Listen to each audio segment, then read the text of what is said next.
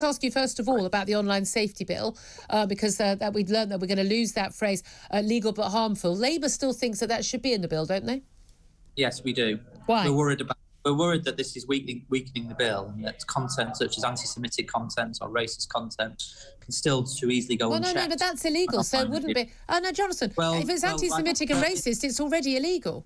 Well, it, we, we still you can still find material of that nature. Yes, and it's illegal, and it should be taken down. And, why and should? Well, it isn't though, is it? Why should legal uh, content be taken taken down. down? That's the problem. It doesn't get taken down. Yeah, but that's- but that's a different argument. goes unchecked. But that's a different argument, isn't it? The argument that they should actually comply with the law is is, is a good argument, and they Well, should do more. That you should use as that you should use all the to- tools at your disposal to take on this type of anti-Semitic content.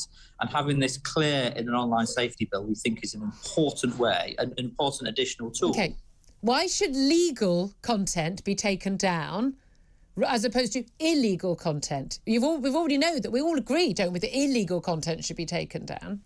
Well, if there's harmful content, Who Uh, decides? we do we do have a um, uh, we do have a responsibility, I believe, in public life to ensure that the social media sphere is not causing people harm because we do have had Who not, decides? it, it, we have that. well the state always decides No, no, like you're saying the social media. You're saying the social media companies should decide. Well, so, for instance, well, a trans woman. Here's my here's my statement. A trans woman is not a woman. A trans woman is a biological man. Many people, lots of Labour MPs, seem to think that that's an offensive statement. Should that be allowed online? It's not for me to offer an opinion. You know, there will be Isn't proper it? guidelines and You're an elected member of parliament. place. It's not for me to offer an opinion on what's on, on, on that particular point that you've made there. But we know that there is harmful content which has too often gone unchecked on social media around glorifying perhaps um, self harm and things of that nature, which adolescents have been able to, to access. That cannot be right, and we need to use whatever tools at our disposal to deal with that.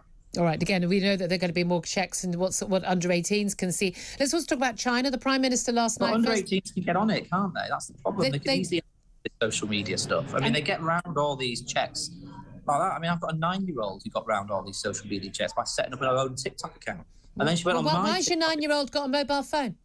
Sorry, Why has your nine-year-old got a mobile phone? She hasn't got her own mobile phone, but she steals her parents' mobile phone. Well, why is your, why is your nine-year-old stealing your mobile? My, my child doesn't steal my phone. Didn't have a mobile phone when she was nine. Well, I mean, you obviously live in a. You're, very, you're obviously better at looking after your mobile phone in your house than I am. Because whenever It's called parenting, isn't it, Jonathan? Well, you're obviously a better parent than I am. I'm not. I'm not mean, saying that. I'm just saying there are. Um, Uh, so look, let's. no, I want to get on. you. Well done, you, for being a better parent than me. Well, I, I do Well- try to be a good parent. Yes, I thought we were all supposed to do that. Well, I don't. are. I don't allow my nine-year-old on social media. No, she wasn't allowed No, on any but- social media till Well, no. Well, neither is mine. But you know, she has stolen my phone from time to time. Do you want me to? Do you want me to come round and super enough. nanny your kids? I can sort that oh, out I for would you. love that actually. Yes. Seriously, yes. now there's a Channel Four show if ever Come round. one. Yeah, yeah. Right, we'll sort That would make Look, that, that, that would make better TV than Matt Hancock in the jungle. Oh, Come that's round for- to our house. that's for sure. Right, two more things. We, we've they only got. know what's hit them. We've only got Not- two not minutes. Let's, let's race through. China, Rishi Sunak and China. I just want to hear from you quickly. What do you think he meant by saying that the golden era of uh, relations between UK and China are over? Well, I mean, he, he, I think he's, he's right to say it, but what, what will that actually mean in practice? I suspect very little, frankly. I mean, I suspect it is a sort of. I can imagine sitting around with his speechwriters thinking, oh, what a great phrase. But is he actually going to change any policy on it? We'll see. Okay, let's also get to what you're announcing today um, the- at the Work Foundation think tank uh, that basically you're you're outlining plans to get Britain back to work, particularly for over 50s like myself and the long term sick. What help are you going to offer them? Well, we know increasing numbers of people are out of work, some for sickness, and the the, be- the bill, the benefit bill for those out of work for health reasons and disabilities is going to go up by over eight billion pounds a year. And yet, many people, up to 1.7 million people from ONS surveys, suggest that they would return to work with the right help and support. Now, one of the problems with the system at the moment is we spend 20 billion pounds across 49 different schemes delivered by nine different departments, and yet only one in 10 disabled people or older people are getting any help to return to work. So it's clearly not working.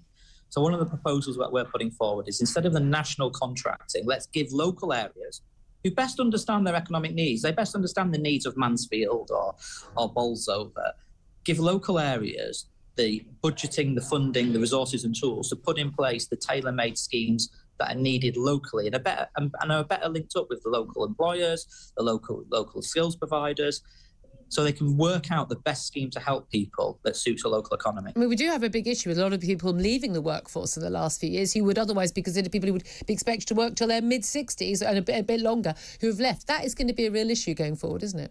But it is a real issue. Now, obviously, look, I just want to be clear. There be, some people can't work. But some people have taken early retirement, and you know, no one's forcing anybody. And equally, there'll be some people who, are through disability or sickness, simply cannot work.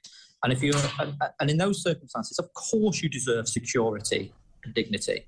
But if you're one of these up to 1.7 million people who are asking for help to okay. return to work, then you should get that help. All right.